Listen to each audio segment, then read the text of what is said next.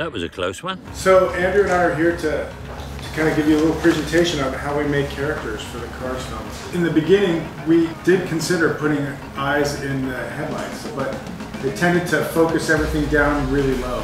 It also makes it uh, feel like your character's kind of lying on their stomach as they go through the whole movie. When you move the, the eyes up into the windshield, it tends to turn the entire car into a talking head. Uh, which is a lot better for acting and for camera framing. Since we had no bodies with which to do posing or to get any sort of gesture out of, we thought a lot of expression was going to be relayed through the eyebrows. We did lots of articulation and manipulation of eyebrows, but it turns out that the eyelids were actually even more effective. So that's how we ended up with that sort of presentation.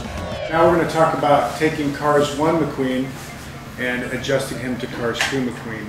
This is actual timeline. So within three minutes, he had developed a new paint job for McQueen that John liked so much that this was the drawing that they applied to McQueen. And this is a few slides just showing how we took the bare car and started to figure out how to implement that new paint design. And there he is with his new paint job. Wish me luck. You go get him, buddy. Lightning McQueen, welcome to the World Grand Prix.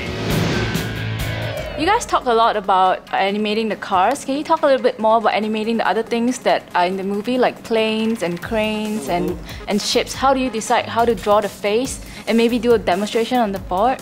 You've got a, a jet now with a pointy front to it that comes back like this, and his windshield wraps around like this, and then his mouth is going to be on the underside of the plane. So, you know, we we had to figure out, okay, when this when he when the jaw opens, is it the thing where the jaw is going to come out like this, and he's going to it's going to open like that, so you can see it move? Um, what we wound up doing was instead just you know having it be part of this here, slightly coming down to show a little give, but more dropping that way when he's talking. Uh, my name's Jay Ward. I'm the Cars franchise guardian and my job is basically automotive authenticity for the film Cars 2. Okay. Can you give us a little bit uh, of trivia in the film that nobody knows about? like, One of the interesting things is Mater goes into a bathroom in Japan. Right. There's a little character that comes up on the screen and she talks to him in Japanese oh, about yeah. how to use the toilet. Her name is Chuki. that voice and that car is the same pink car that was in the first Cars that was the Japanese television announcer when they say, Where's McQueen? He's missing. Oh. Sorry, ladies.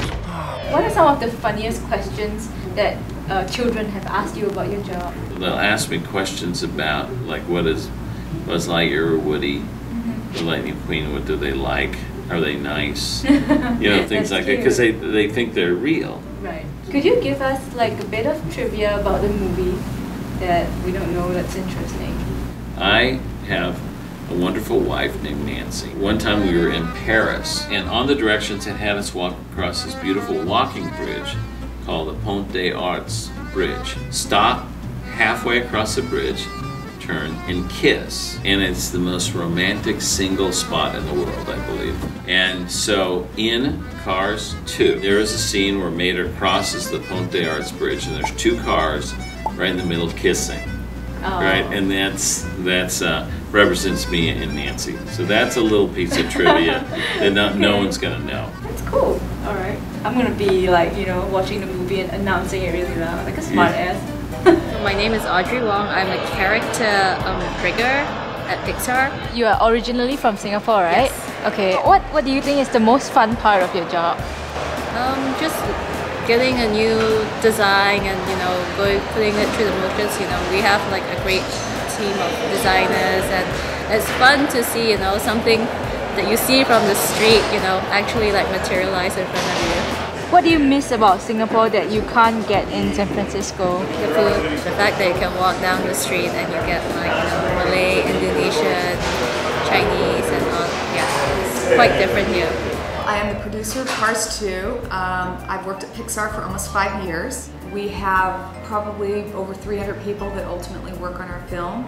So it's my job to make sure that they get everything they need to, to do the best job they can. What is your favorite scene in the movie? Can you describe working on that? I love the opening The, of the film. uh, the spy sequel. It's totally unexpected. You're out in the ocean which is not where you would ever imagine a car to be. I think it looks really incredible. Question is, why? I'm looking for a car.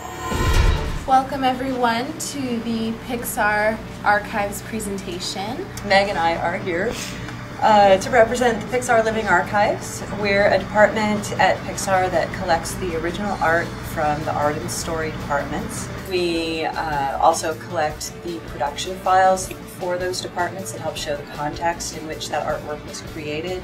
We have scripts, we have awards, we have a small Pixar history collection, and we call ourselves the Pixar Living Archives because we uh, bring that art back on a daily basis to people at Pixar who need it for their work or inspiration.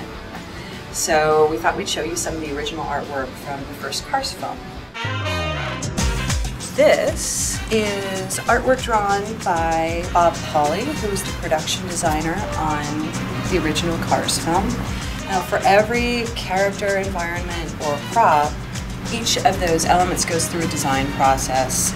Many drawings are created, and the, the final product of the art department for all of those elements is a set of drawings called the model packet. And the model packet has all kinds of drawings in it that explain what the character looks like, and in this case, what the character's personality is like, and what they look like when they're conveying certain emotions. Because where this information is going is to the technical artists who are creating the digital model. Cars 2. You know, I know some karate. Oh, you've got to be joking. I am to be praised for filming this with a nice background with sunlight, okay? And like, it looks like somebody is filming me, but it's not because the camcorder is balanced on a cup. Somebody used cup. Oh, that's funny, right there. So my day at Pixar has officially ended and I just finished all my interviews uh, with the people who are do in charge of Cars 2 and it's been a really fun day. I enjoyed talking to them and finding out how they did the movie and found out lots of trivia so I can be a know-it-all when I go and watch it with my friends. It's gonna be cool. I might have switched into an American accent, like a fake disgusting American accent when I was talking to some of the people. Okay, this is not my fault because I just, I can't help but switch into that when talking to Americans because if I speak like Lola, they don't understand me and then like I don't know, I know it sounds very terribly pretentious, so I'm sorry if it disgusts you.